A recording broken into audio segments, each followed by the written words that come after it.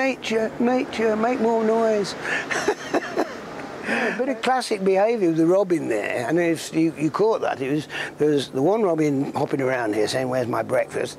and then another one swooped in and chased it away. And it's this kind of weather it's cold, but it's sunny, and that makes them think, oh, I don't know, sometime we're going to breed, and this is going to be my patch. So they're already getting a bit aggressive with one another. When it gets colder, they, they, they can afford to fight then, calm down and share your food. But this is meadow sweet which is a lovely plant which gets higher and higher and higher reaching for the sun and then it gets these lovely little white feathery flowers on it and it is, as it said, it's got a lovely sort of scent. And it really got its name years and years and years ago when London in particular was very smelly and nasty and people were always having something they could sniff to take the smell away. Um, and meadow sweet was one of those flowers that got used for that. They'd wrap some me meadow sweet in a piece of cloth and ah, that's better. It reminds me of wildflowers instead of dirt and horse dung and things like that, which would have been all over the place in those days. So take my word for it, that's actually quite a nice patch of wildflowers. Another little clue there, another little tip there. A patch of wildflowers. You've always got room. It can be quite small.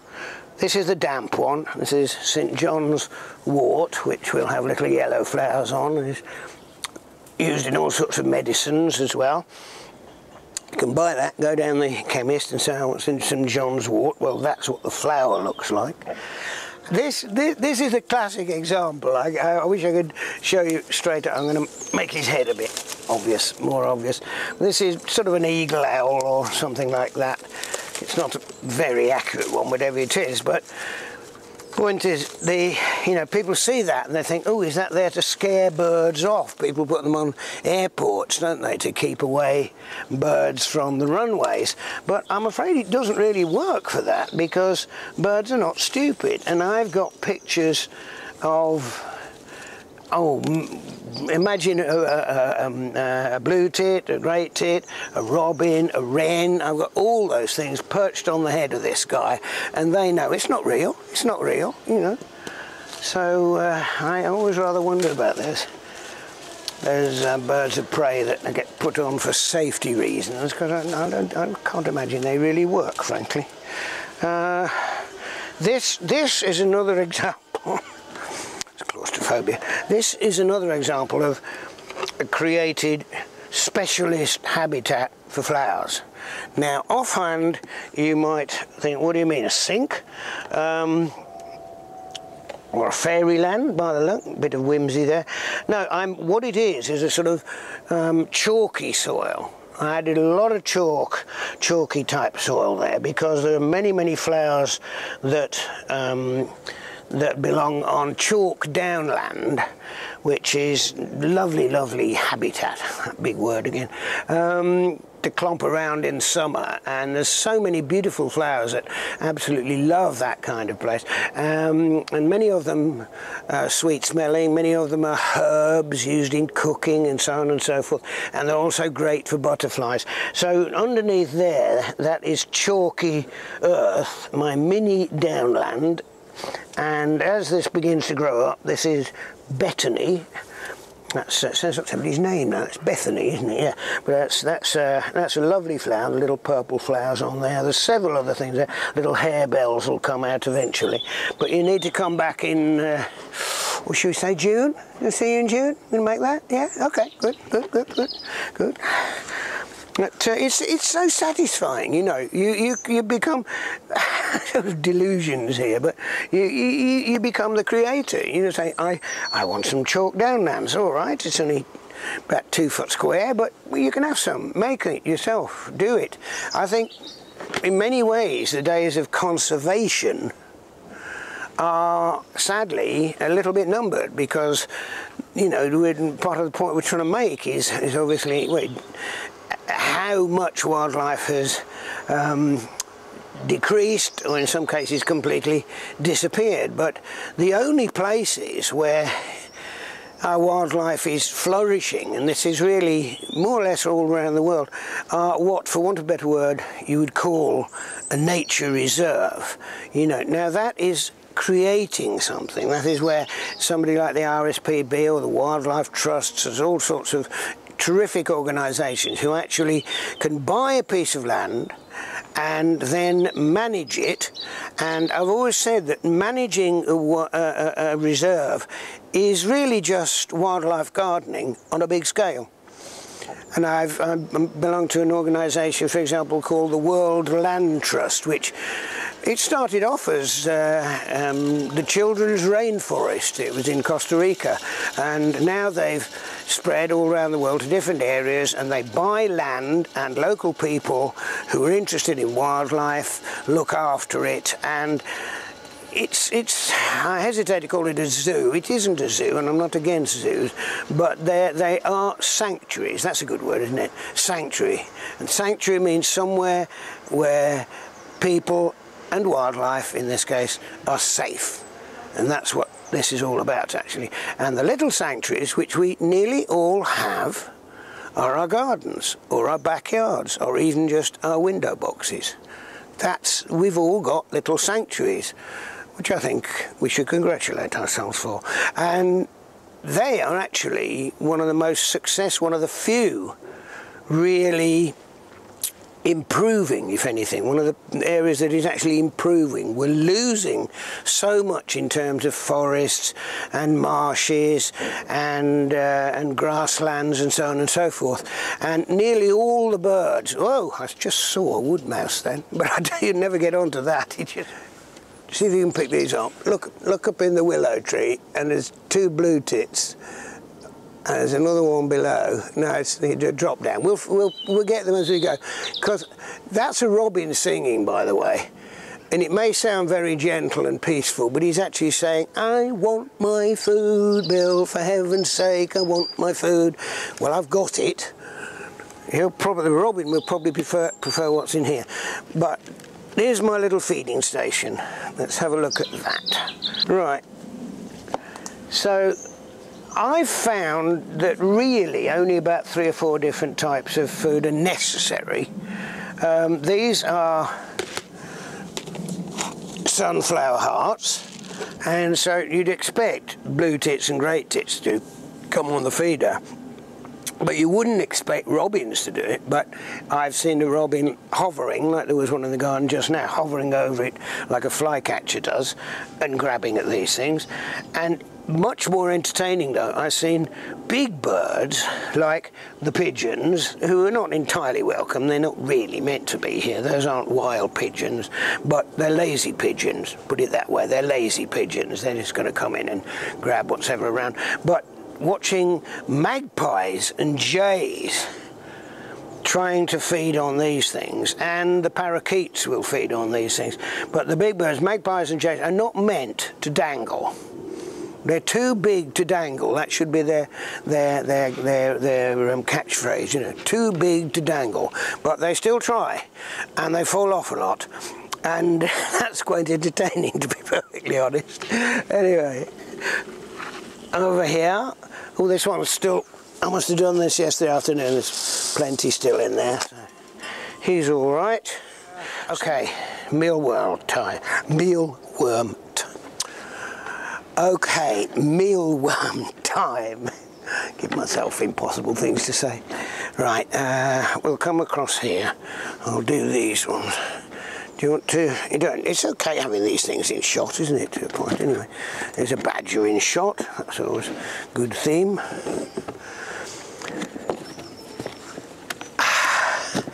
Right now, first of all, if you have any squeamishness about sort of wriggly wiggly things and creepy crawlies as they're called, I wish they weren't, you know.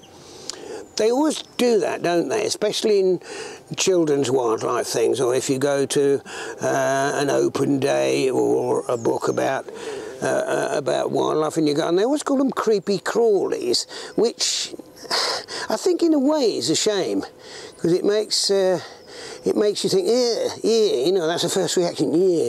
I have more than once revealed the contents of this. And this, this, by the way, they slightly, they nibble on newspaper and they also wee and poo on it as well, so it's a bit soppy. This one. Put that on there. There you go. All together now. Yeah, yeah. Actually, they're pretty quiet. They are they are live, by the way, but they're a bit cold. That's what it is. Um, but the fact of the matter is, small insects and caterpillars and that sort of thing are absolutely essential for birds. And this is very important. They're particularly essential, not during the winter when everybody traditionally feeds birds, but during the spring and the summer when there are young birds around and some bir young birds still in the nest. So I had robins, blackbirds, uh, wren, all nesting in different places in this garden and it saved the parents, if you think about it, a huge amount of effort and work and energy. They didn't have to go, you know, looking for insects and, and caterpillars under leaves. It's, it's a big, big job to do that and they get exhausted and they, they sometimes literally can't survive because they've got too much to do. But if you put these things out, it's, it's an absolute godsend. So Robin will come in and we have a blackbird, that's right, the best one was a blackbird, who got something like, he used to pick them up, but he didn't just do one at a time and I don't know how he didn't keep dropping them, but he ended up with about 10 of those in his beak. he'd come down and he'd go off, and you could imagine the female was back there saying, Oh, well done, darling, that's a good. Go for 12. And then he'd come back and have another lot. And I got lots of nice pictures of him, absolutely you know, sort of a whole beak for a whole row of wiggly mealworms, thinking, don't feed us to your babies. It is your destiny. The only way I can feed these, put them in their thing, because this, oh, it's full of nonsense, isn't it? This thing here is not part of the feeder. It's um, a plant plant thing that you normally hang down and have plants and flowers in. But if I leave that feeder open like that, magpies, jays, squirrels, everything will come and nick those. But that is very effective, only small birds can get in there, so it'll be robins and uh, blue tits and great tits. And the same applies over here. The same applies to this feeder, which these are very, very, I do recommend these. If people have trouble with squirrels and so on and so forth, I mean, I like squirrels, but yes, they do take a lot of food. But you put that in there, and as you can see it's got these just these little holes there and it took the birds a couple of days I think that's about all to sort of suss it out I haven't looked at that so what's that for you know what's this mealworm cage you've got here is he keeping mealworms now and then one of the more seasoned blue tits or something. No, no, no, no, no. That's a that's a squirrel-proof feeder. We go inside, get it. And I've seen birds a bit puzzled getting out. They every now and again you you see a robin or something goes in there. and Oh, great! Got my got my mealworm, and then they go and. Uh, how do I get out of here? And eventually they'll find one of these holes, and whew, thank goodness for that. All of which is part of the fun, actually. You know, from your point of view, watching what the birds are doing in your garden and almost giving them personalities. I mean, I don't give them names, but lots of people do. But I think most people who have a garden and enjoy the birds tend to, the big word is anthropomorphize. Anthropomorphize. Go on, Google that one. Anthropomorphize. It's, and it basically, it means giving sort of human name and a human behavior um, to an animal or a bird or something like that. So, um, you know, in terms of garden birds, it's very often people talk about my Robin's come back. You know, I call him Peter or something like that. Or uh, Ralph or whatever, and he's come back again, you know. And then they said he's I really he's come back every year. Oh yes, yes, he comes back. Peter's been coming to our garden for 15 years now, and then I have to say, ah it's probably not Peter, you know. It's son of Peter and grandson of Peter and so on and so forth. Because it's something I'm often asked, how long do garden birds live? And the small ones, I'm afraid the, the answer, it sounds very sad, but whilst they are alive, they live a life. They're fast, they pack a lot in, but it's usually, they're lucky to live more than about three, four years at the most, and most of them probably only about two. So if you want to call it your garden robin, that's cool, but it might not be the same one every year, okay? Right, right sad note. The question I'm often asked actually is have things changed and how have they changed since I was a kid? Well, we're talking 60 years ago or more and uh, the answer is yes, yes, yes and yes. And 90% of the changes, unfortunately, have not been for the good. I mean, I often think, I know children and indeed adults are always reading in the papers or magazines or you know sort of uh, maybe the bulletin from a, from an organisation something like that about how many species we've lost whether it's birds or butterflies or bees or anything anything. And it's all around the world too that we are losing species. Nature is being more and more destroyed. Um, and it's hard, though, for young people to appreciate that because they hear that, but how could they possibly know it? And if I can put it this way, you have to be as old as me, and I suggest you don't be as old as me for another 60 years or so, by the way. But um, if you are, then I remember, for example, walking in the fields round about Birmingham where I lived and there would be huge numbers of birds, masses of birds. Every field I would go through during the winter had big flocks of sparrows and buntings, there'd be lapwing flocks and so on and so forth. Lots and lots of life. And during the summer it would be the same with the butterflies and the bees and the flowers and so on and so forth. And therefore, I guess people of my age really are very aware of how much we're losing. Whereas youngsters, you can't be. You've only got our word for it in a way. What's that? I'm going to pause while that happens. If it's going to. Is it going away? Oh, it sounds like it is almost, doesn't it? Yeah, yeah. When I were a lad, we had birds all over the place, you know, and had butterflies all over, and I did I did live up north in those days, and uh, and, and I can imagine youngsters going, oh, for heaven's sake. But one thing I have to say is that nowadays people have information and um, help in a way which I never had, and that's good. And uh, this is the thing to appreciate.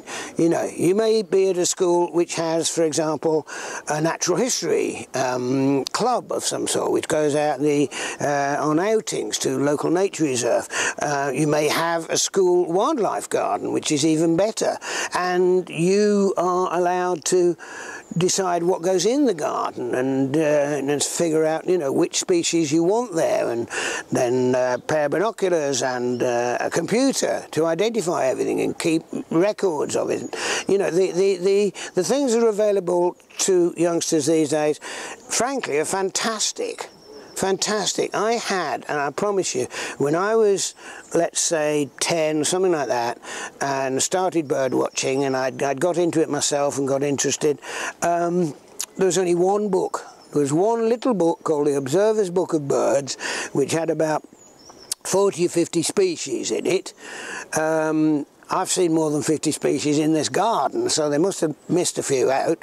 And, and nowadays, there's just wonderful, wonderful books and websites and so forth. I'm not advertising, it's just I admire this book, for example, immensely.